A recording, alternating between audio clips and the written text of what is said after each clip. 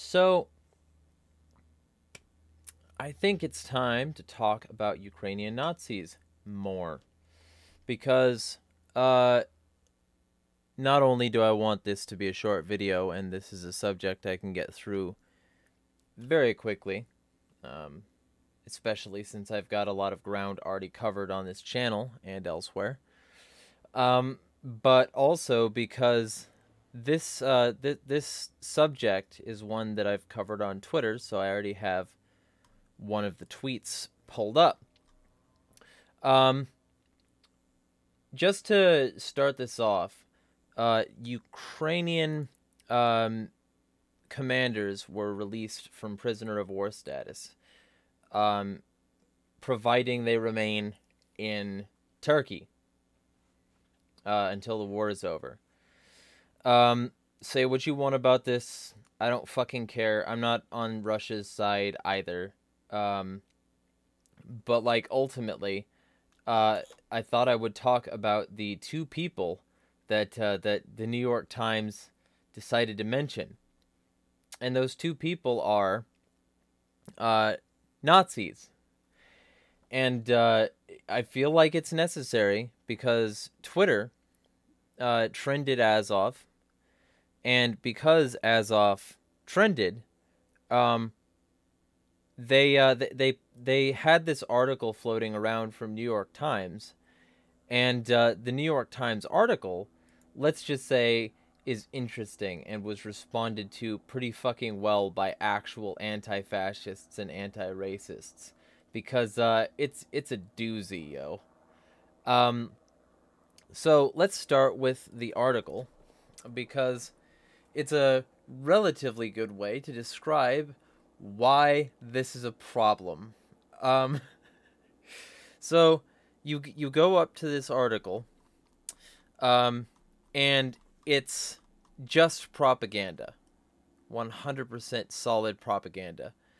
Um, and it starts out by saying, Russia Ukraine war.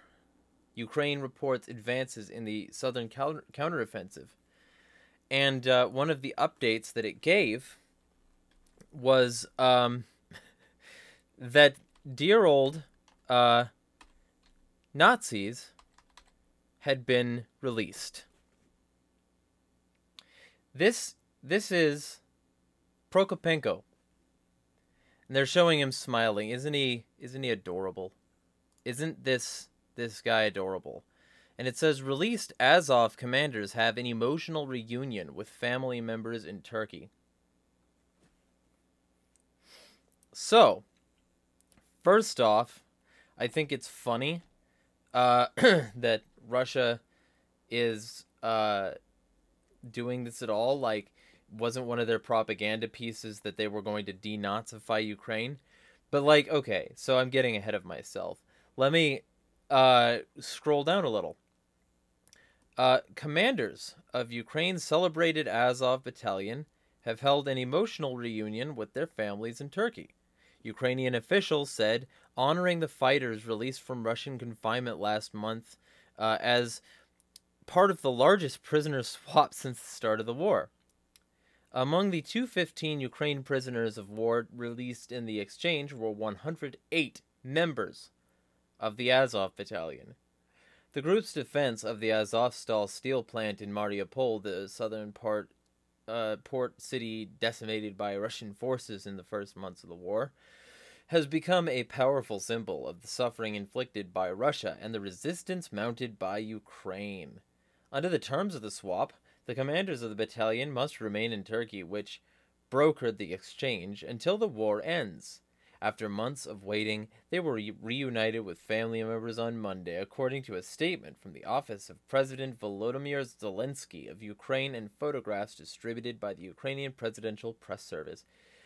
I, I, I, I, I repeat, because I feel like it's something that I should repeat, which is that uh, you can tell you're reading Western propaganda for this when they misspell Zelensky, when they do not include two Y's, because they're not speaking from any perspective of having read um, what's on the ground there. They're speaking from the perspective of somebody who wants the West to believe somebody. And, and Westerners, we're too dumb to understand, too wise, you know?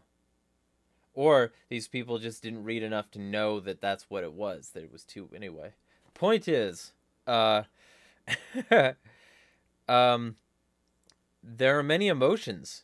Ukraine's first lady, Olena Zelenska, who attended the meeting, said in a post on Telegram, "The road to this movement was long and difficult. Finally, they were able to hug." Aw, that's fucking adorable. Isn't this all adorable? Um, so then it continues. While the Azov fighters were holed up inside the steel plant in the spring facing withering Russian attacks, some of their wives helped lead an international campaign to end the fighting, appealing to world leaders and even earning an audience with Pope Francis at the Vatican. The last holdouts were taken captive by Russia in May after the Ukrainian authorities declared an end to the combat mission there. Pope Francis, isn't this guy supposed to be the guy who's like anti-bigot? Hey, we pl- we plastered a rainbow flag on the Vatican. That means that they're no longer bigots, right? That's this guy, right? Wasn't he the guy that was saying we should accept people? Why is he uh, taking an audience with fucking Nazis? Oh, right, because none of this is genuine and it's all about isolating control. So, uh, it continues, you know, that um, the commander of the Azov battalion, Lieutenant Colonel Denis Prokopenko, and his deputy, Captain uh, Sviatoslav Palamar, were among the commanders released by Russia. In exchange, Ukraine freed 55 prisoners, including Viktor uh, Medvedchuk, a Ukrainian businessman and politician who is a close friend of Russia's President Vladimir Putin. So they released a single businessman and they got back two Nazis and quite a few other Nazis and probably some people who were on the side of the Nazis. And if they weren't before, they probably are now, because, you know, being prisoners of war together has a tendency to create some sticky glue. But, like, uh, I, I feel like, you know, I feel like it's it's it's valuable to bring this up. And uh, I'll, I'll finish this part. Miss Zelenska said she gave the Azov battalion members thanks from Ukraine from the president and all the people for whom they are fighting. But she emphasized in her statement that many Ukrainian prisoners of war remained in Russian hands, and we need each and every one alive, she wrote. So, who are these two people that this article chose to highlight? Well, the first one is one that I've gone over on Twitter before because I talked about this prisoner of war exchange already and that is Lieutenant Colonel Denis uh, Redis Prokopenko, and he joined Azov in 2014. Here's him with Nazi symbols and on the cover of one of their Nazi zines. He's a high commander now, regarded by Zelensky a hero. NATO sources just celebrated his release from prison because of course. So, this is Prokopenko. Right? So they they they they let who go? Oh, this guy. They want you to think of him though like this and not like that.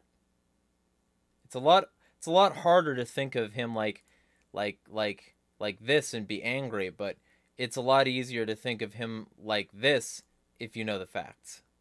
And the facts are this is who he is. This is Prokopenko. And um, this is him doing a fascist salute in front of and wearing a Nazi symbol, the Wolfsangel, as a part of his Azov regiment fucking fascist training in a ceremony, right? Um, and that's like official fucking picture. I'm not embellishing. This comes from them. You don't have to fucking look hard. This comes from the people in question. And uh, the CIA website, uh, Radio Free, uh, Svoboda, uh, which is both the word for freedom over there and also the word uh, that is related to a fascist political party there. Isn't it great that a, uh, their word for freedom is being used for a Nazi political party? I think that's fucking great. And the uh, the post here is in Russian, but uh, you can read it if you use a translator, or you can go to the fucking source. Like you can find my tweet, um, and you can also read this. This is very interesting. It's it's definitely not something you should look into though. Not like this was posted right before the war because it was discovered fairly close to the war and not like they would want to snow some stuff and cover some stuff up and coat their fucking investments in a veneer of you know patriotism and courage? Nah. They would never do something as corrupt as funding far right militants overseas. Oh but by the way the Palamar guy this is him. And and the reason uh, I I I bring this up is because um, he he's a fucking Nazi. He was a member of the Patriot of Ukraine, uh, and they were Nazis with a Wolfsang Wolfsangel as their symbol, right? And it's under uh, Andrei Beletsky, uh, who would form the Azov Battalion, who is the guy who runs Patriot, and like it's a big fucking cluster of Nazis, which is why they have a Wolfsangel as their symbol, and which is why uh, they they went on to become the the root for a lot of the um, Nazis in Ukraine, and why the Azov Battalion has like a veteran of Azov as the leader of the VA, why a ton of uh, of support has been levied to Azov and C14 and Svoboda and Right Sector and all these uh, organizations because these guys were an extremist political party that existed all fucking ready. And and and, and what's their ideology and program? Oh right. Fucking Nazi shit. Can we can we oppose these guys without being Kremlin stooge? No. Oh shit. God damn it. I keep on saying saying I'm not a Kremlin stooge, but they clearly pay me so well. Uh, I I live in awesome conditions. In fact, I uh, you know. I, I I love Putin, and and I get paid so much by them. If you disagree with that though, and if you don't think I'm a Kremlin stooge just because I oppose the Nazis the US likes, feel free to throw some money at the links in the description. But, like, look at it. It's fucking Nazism. That's what it is. Right? It's. So, the Patriot of Ukraine promoted an extreme, nationalist, racist, and Islamophobic platform and sometimes uh, used neo Nazi symbols including er, political violence, racism, neo Nazism, racialism, direct action, national solidarity and, uh, solidarity and hierarchy, obedience and personal devotion to the national leader, and the greater Ukraine, i.e., creation of the third Ukrainian empire, after Scythia and Kievan Rus, from the Baltic to the Caucasus. So, they want a broader country. They're imperialists, and so are the people uh, that are trained by these people. That's what we're dealing with. We're dealing with Nazi imperialists. And they have a whole goal for an Azov movement. Like, it's not just a matter of, of the Azov battalion, which is already bad enough. Like, these people are guilty of torture and war crimes. The UN hated them until it was time to support them in favor of fucking the new globalist war. Right? They're neo Nazi. But we're not allowed to talk about that. You know, and we're also not allowed to talk about the the Azov movement. You know? We're not allowed to talk about that because if we start talking about things like the Azov movement, it'll make us sound like Kremlin stooges, and you wouldn't want to be a Kremlin stooge, would you? So let's talk about the Azov movement. The Azov Battalion has created its own civilian political movement, collectively known as the Azov Movement, made up of an umbrella of organizations formed by former Azov veterans or groups linked to Azov, and with roots in the ultra nationalist paramilitary Patriot of Ukraine group, led by Azov founder Andriy Biletsky, and the Associated Far Right Social National Assembly, if you flip the words, it's not National Socialist. They're not Nazis. They're social nationalists. They're they're they're CNAs. You know, um, in 2017, according to Foreign Affairs magazine, after the union with the National Guard, the government's first act was to root out two groups within Azov: foreign fighters and neo Nazis. By vetting group members with background checks, observations during training, and a law requiring all fighters to accept Ukrainian citizenship. Fighters who did not pass this screening were offered the chance to join civilian volunteer corps to help the war effort. These corps assisted police, cleared snow, uh, and even worked on a public radio. According to Reuters, at this time the unit worked to depoliticize itself. Its far right leadership left and founded the National Corps Political Party, which works with its associated activist organization, the Azov Civil Corps, the Patriot of Ukraine websites were shut down or put under restricted access. Some experts agree with the view that there is increasingly great separation between the Azov movement and the battalion. so they're they're softening it right here. So if you want to read that, you can. But basically, it goes on to say that uh, that the whole movement here started with that and became the Azov Civil Corps, the National Corps, the Youth Corps, the National Militia, and Centuria. And basically, their whole goal is to form a global movement. A global movement which they were being exposed by uh, on, you know, last year's terms. So let's let's let's look at at, uh, at Time magazine here. Because Time magazine was very concerned in the grand old year of 2021 about how uh, white supremacist militias are using Facebook to radicalize and train new members. And which which which militia did they talk about? Oh, Ukraine's far right Azov movement, which has inspired white supremacists around the fucking world.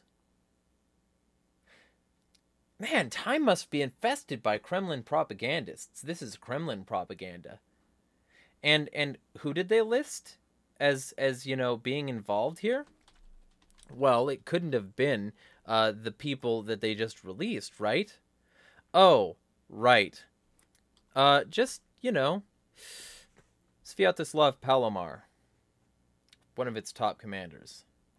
So, what's the context of this? Well, basically, they went over the fact that uh, the the uh, Azov movement has been trying to recruit people around the world. And this Azov movement uh, fucking uses social media and uses the internet in general to inspire white supremacy. It had an impact on the Unite the Right rally in uh, in America. It had an impact on the Charlottesville rally in fucking America. Um, and it has impact all over the fucking world. You're not allowed to bring this up, though. You're not allowed to bring this up without being a Kremlin propagandist or something. Um, and you're certainly not allowed to look at all these tattoos, look at all the fascism. You're not allowed to look at the fact that Christchurch in New Zealand was partially sponsored by it. You're not allowed to look into any of this. Look into the fact that their foreign trained fighters eventually go on to be domestic racist terrorists and you're certainly not allowed to look into the fact that the US government stopped giving them money not too long ago. You're not allowed to look into any of this. Even though it came out last year, right? Just ignore it. It came out last year. Last year is so long ago, right, guys? Right, guys? So, don't look into it.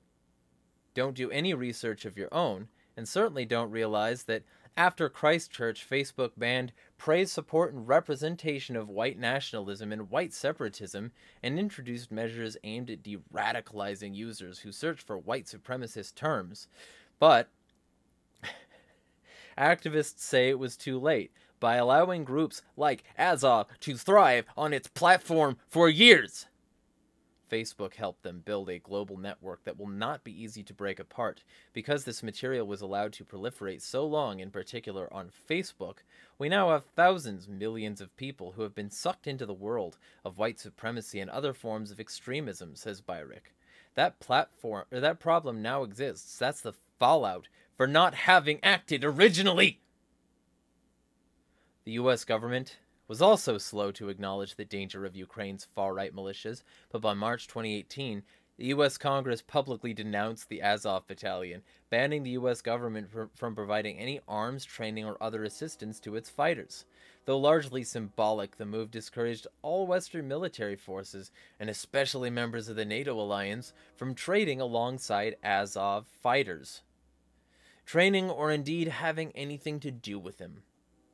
It was a deep blow to morale, especially to Azov's military wing, says Sviatoslav Palamar, one of its top commanders. Some people still see us as hooligans and outlaws, he told Time during a visit to Azov's training base near Mariupol, where uniformed cadets had spent the day learning the proper way to hurl a grenade. We've come a long way since the early days. To prove it, Azov tightened its standards for foreign fighters. But the shift did not obviate the need for Fromm's brand of online recruitment. On the contrary, in the summer of 2018, Azov's political wing allowed him to use one of its cottages outside Kiev as a hostel for foreign fighters. Those who did not make the cut were channeled into one of Ukraine's other militia groups, in some cases, the regular Ukrainian military. So if you're not cut out for Azov, but you still want to be a racist, they've got a place for you. And Bellingcat, I hate these motherfuckers for what they've said ever since and for working with the CIA. But, like, let's be fucking clear. This is a good article. A good article that the establishment probably would rather you not read. Especially since it has a fuck ton of information just an absolute metric fuck ton about these people and about how fascist they are and about how these people have been using social media to recruit and have been using like all available western provided means to stay relevant. And uh i wonder why this would be relevant to the story. Oh right because During Beletsky's visit of the National Guard's Azov Regiment base on New Year's Eve, he also presented his vision for the future of Azov fighters. 2019 will be incredibly important for us. I'm hoping that it will become the year of Azov's and thus Ukraine's victories, Beletsky said during the event. Keep in mind, Beletsky is a massive racist piece of shit, a Nazi and leader of Patriot of Ukraine, a Nazi who helped inspire all of Ukraine's Nazism. Um, and he said that 2019 will be the year of. Well, I mean, I guess not. I guess you had to wait a little bit until the entire world decided to back up your Nazis. But um, in a report about the event, as well as numerous other occasions, the regiment's own site unequivocally characterized Bieletsky as the leader of the Azov movement. That Azov movement that wants a global movement of Azov white nationalism, Nazism on a global scale. That's what this guy is the leader of. Recognition of Bieletsky as the leader of National Guard's Azov Regiment was echoed in February 2019 by the regiment's chief of staff, Sviatoslav Palamar, in a video interview. We have a leader in Andriy Bieletsky, who's currently an independent member of parliament of Ukraine. According to Palamar, Bieletsky takes care of raising financial support for the regiment and finds sponsors that invest money, like the CIA and Azov, enabling the regiment to have quality equipment, access to proving grounds, etc. Azov's incorporation into the National Guard has raised eyebrows within that militarized branch of Ukraine's law enforcement, as well as in the U.S. A 2017 interview of the current head of the National Guard of Ukraine, General Yuri Allerov, pointed to both his concerns about the regiment and its role in ensuring security in Ukraine's strategically important Mariupol region. As much as is possible, we attempt to get rid of their pagan gestures and rituals that stand out so much like the Black Sun, like the Wolfsangel, like all these pagan symbols. Pagan symbols co opted by Nazis and then copied by Nazis in Ukraine. They're not pagan symbols, they're Nazi symbols. I mean, they are pagan originally, not anymore. The black sun was never a pagan symbol, it was always Nazis. Fuck Nazis. But we don't bend them across the knee, because, unfortunately, there's no comparable, motivated resistance movement like that in the east of Ukraine. Allerov said of Azov in 2017 interview. Far from a new face in the newly strengthened Ukrainian armed forces, Allerov is a 54 year old career military official who reportedly started his career in the Soviet Union. I just thought I'd bring this stuff up.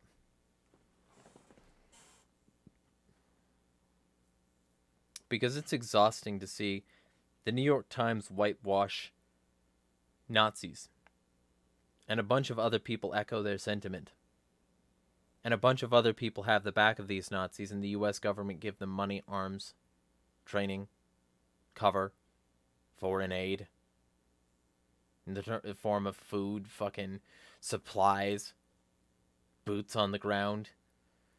And what's doubly frustrating is we're going to World War III, this time in the full public support of Nazis, rather than finding out that the Nazis were being supported for all this time anyway.